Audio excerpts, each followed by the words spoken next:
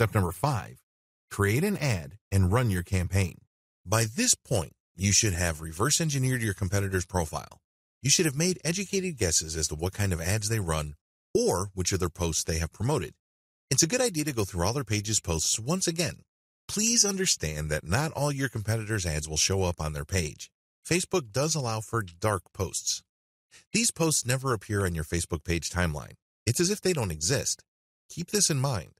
When you study your competitors' posts to look for indicators of success, like number of shares, number of likes, and comments, you're only seeing part of the picture. Still, this is better than nothing. As I have mentioned repeatedly in this training, you need to do reverse engineering or preliminary consumer intelligence to get a head start. Just because you did it once, it doesn't mean that you should stop there. You have to look at all your competitors. Get a general idea of what works and what doesn't work. You have to do this before you create a targeting plan for your ad. Otherwise, you shouldn't be surprised if your ad doesn't do all that well. Please remember that if you have absolutely no previous idea coming into the ad creation process, as well as the audience targeting dynamics of Facebook, your chances of failure are quite high. So a little bit of advanced preparation could go a long way. Now, this depends on your niche. Some niches are pretty much well represented on Facebook.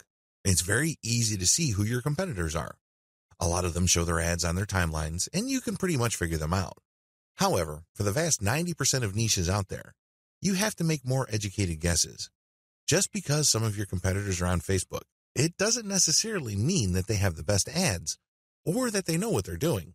Still, this is better than nothing. In this video, you're going to learn how to create an ad and run it. But at the end of the day, it all boils down to how well you do in the following video. I'm going to instruct you on how to get started, but ultimately, how you optimize your ads will determine whether you will be successful or not. Create your Facebook ad. When creating an ad, remember to focus on the message. A lot of advertisers think that an ad has to be specific to a product or service. This is a common mistake. You have to remember that most of the time, before people buy anything, whether online or offline, they have to see a brand several times to develop some sort of familiarity. If you don't believe me, answer this question. When was the last time you bought something from a complete and total stranger? If you're like most normal people, the answer would be never. If you're going to spend your hard-earned money, at the very least, you would insist on some level of trust. It's not like some random person telling you a lie from the internet will get you to whip out your wallet and take out your credit card. Things normally don't work like that. It is all about building familiarity. Unfortunately, if your ads just focus on a product, that's not going to go far. In fact, in many cases, people would forget about the product. The better approach would be to focus on the overall message your brand represents. Are you there to help people get better sleep? Are you there to get people to live more comfortable lives? Is your business aimed at maximizing peace of mind? You have to operate at this level. And the good news is, you don't have to take shots in the dark. Look at what your competitors are doing. How are they playing this game? Do they focus too much on a product? How well did that do? Are they focusing on a general message that can lead to products? How do those compare? Once you have gotten this information, you can then take the next step, which is to choose between a completely new ad or promoting a post that is already on your page. Step number one, choose among the type of ads you can run. Facebook accommodates a lot of different ad types. You can choose among the following depending on your overall objective. Lead ads, Lead ads are available solely on mobile devices. They are designed for one-click subscription. Since people using mobile devices like tablets and phones can't be relied on to stop what they're doing and open a new page to enter their email address, Facebook has made it so much easier on them. They just need to click and the ad will supply you their information. Instant experience. These were formerly called canvas ads. These are full screen ads that load really fast. Depending on the type of product or service you are promoting, this might be a good fit. Collection ads. These show your product or other products presented side by side. These ads are available only on mobile devices. When customers like what they see, they can click it and buy it instantly. This ad is only possible on mobile devices because on a desktop, you normally can comfortably fill out ad fields and forms. That doesn't work on mobile. Accordingly, sales collection ads are only available on mobile ads. Slideshow ads. These are videos that feature compilations of short video clips or still images. The key here is to grab attention while at the same time saving bandwidth. Even people with very slow internet connections can still see these ads. They attract quite a bit of eyeballs. Carousel ads. Carousel ads are a collection of as much as 10 video clips or photos of whatever service or product you are promoting. The great thing about carousel ads is they tend to be longer, so you have a lot more space and opportunity to present the benefits of your product as well as different features. This is a great way of explaining what your product brings to the table in an attention-grabbing way. Video ads. Video ads take two forms. You can highlight what your product is like when people are using it, or it can simply be aspirational. You can even show scenes of people having a good time, people smiling, enjoying themselves, and then projecting your brand. Please understand that aspirational ads are not necessarily wastes of time. When was the last time you bought a Calvin Klein underwear product because Calvin Klein just showed a picture of the underwear on a page? Chances are never. Usually cologne, perfume, and fashion products are sold not so much to the images or video of the products themselves, but the lifestyle of the people that supposedly own those pieces of clothing. This is why Ralph Lauren or Calvin Klein fragrances often show people on vacation or in some sort of moody black and white scene. They're selling you a lifestyle or a mindset. That's what you're buying into. Well, the same dynamic applies for online video. It doesn't have to be literal. It doesn't have to just present your product and people enjoying different features of the product. Depending on your niche or product category, it might make more sense to advertise using aspirational or lifestyle videos. Photo ads. This is the most common Facebook ad. Basically, you show a picture and then there's a caption beneath it. Facebook does have strict rules on how much text you can put on your photo ad. Generally speaking, the photo is supposed to draw attention long enough for people to read the title and the description and then make a decision whether to click through or not. Dynamic ads. Dynamic ads allow you to promote specific products to people who are more likely to be interested in them. This uses Facebook's very robust audience profiling and targeting system to create a match. It's not always effective, but with enough tweaking, this might work for you. Step number two, design or lay out your ad. In this section of Facebook Ad Manager, you can select between promoting many different products that fall within the same category or just one specific offer with one specific image. Once you have selected the pictures or video clips or single piece of content, the next step is to select the media you're going to use for your ad. You can choose between video, slideshows, or images. Facebook will step you through the process of creating carousel or multi-product ads and will prompt you for the images. Always create variations. When I first started on Facebook advertising, I just had one picture to promote one product and I had a fixed model text. As you can well imagine, my campaign did not do well. How come? Well, it was a one-trick pony. I only had one bite at the apple. With Facebook, you can actually choose as many as six images for the single ad.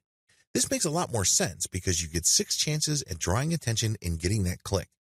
Your ad campaign essentially gets six variations. You get six chances at getting the engagement you are looking for and getting the Facebook user to do what you want them to do. Always create more than one ad. I hope you know where I'm going with this. Don't just focus on creating one ad. You don't know how well that single ad would do. You're putting all your eggs in one basket. The better approach would be to create many ads. The more, the better. All are tied to different images. Run a test on them and set a fixed ad budget. So, once you cap how much money you will be spending on Facebook, usually I set this very low, you will quickly figure out which of the images are working and then you should increase your budget to the most successful ad. Size and format recommendation. The image size for ads is 1200 by 628 pixels. I always use PNG format. What background color should you use? You should use a very vivid background. Please understand that your ad will show up on users' news feeds. You want something that would stand out. You want something that would grab attention. After you have selected the background, you are then ready to work on the text of your ad. Your choice of Facebook page is crucial. Please understand that Facebook doesn't just show your ad out of nowhere. It has to be connected to one of your Facebook pages.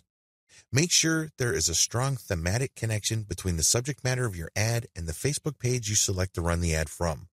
At the very least, if people are not ready or willing to buy the product or service you're promoting, they can at least click through to the Facebook page. Maybe you can get a like out of it. This gives you another bite at the apple because the more likes your Facebook page has, the more eyeballs will see your posts when you get around to posting new content on your Facebook page timeline. Text ad writing tips. The next step in the ad creation process is to write the text portions of your ad. As important and as vital as the image portion of Facebook ads may be, your ad will live or die based on your text. Let's put it this way. You can have a picture that is very attention grabbing, but pictures can only go so far. Forget what you've heard about pictures being worth a thousand words. If people cannot make out what that picture means or what that picture leads to, you have just lost yourself a sale. You have just wasted your money on Facebook ads. It's very important because it draws eyeballs, but it has to lead somewhere. The payload is the headline and the text that will flesh out what the specific value of the ad is. Remember this question. People are always asking this question in any kind of sales scenario. What's in it for me?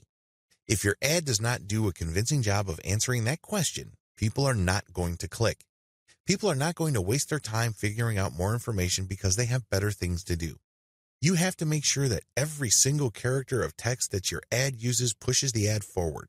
What do I mean by that? Every character or every piece of text or symbol must deliver on the expectations or must appeal to the needs of your target user. The text is divided into two parts, headline and description. Headline.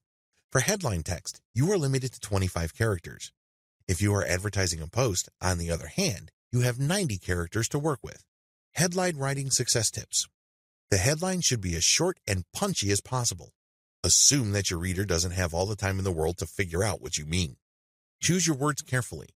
The shorter the text and the more emotionally impactful it is, the better. The headline should be short and effective. So in a very small space, you should make it abundantly clear what the headline is about. The secret here is to focus on benefits. In four words or less, what is the main benefit your product delivers? You then have 15 words for the description in the link. The 15 words should flesh out what you promised in the headline. The headline must attract attention while at the same time filtering the reader. The reader must immediately see what your product is about. Main text. The main text of the ad basically spells out and reiterates the value of your product. It follows through on promises you made in the headline. It fleshes out the description. Don't make the mistake of writing a mini essay. People don't care about that. People don't have the time or the resources to mess with that. Instead, pretend you're still pressed for space. So, in the main text, make sure that every single word counts. Every single word must back up and support what you've said before. It also must be so convincing in terms of value or curiosity that people are pushed to click the call to action button. Action buttons, also called call to action or CTA. This is the button intended to notify the user to take an action. This can be a line of text, a button, or an image. Your CTA must depend on what exactly you want the reader to do. For example, if you are selling a single product, the most fitting call to action would be get now, buy now, shop now. When they click this, you link them to your landing page. This is the page you control. This is the page that does the heavy lifting of selling the visitor and converting that person. There's a link beneath call to action that says show advanced options. Click this. Put in a newsfeed link description. This will appear below your ad's headline. Make sure you check the preview of your ad. Always make sure that the preview is legit. Make sure it looks exactly the way you want it to look. Once you're happy with the ad creative, click on Review Order. This command will then show you all the campaign settings as well as your ad details. Go through each field very slowly and deliberately. Think about the consequences. Ask yourself, is this the best I could do or are there other alternatives that I am overlooking? Once you are comfortable and confident with what you've done, click Place Order.